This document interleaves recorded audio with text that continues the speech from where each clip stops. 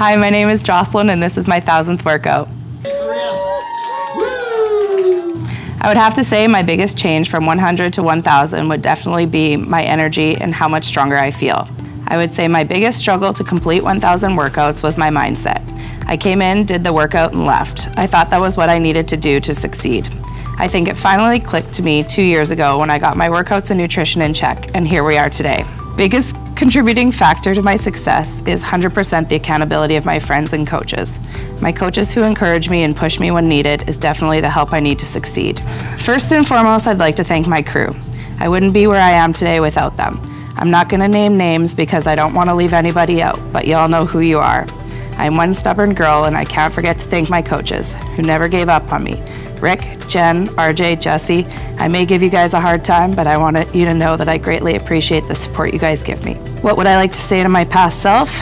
Why didn't you start taking care of yourself sooner? My words of encouragement to others, I would say never compare yourself to anyone. Everybody has their own journey. It will always be hard, but never give up because you only get stronger.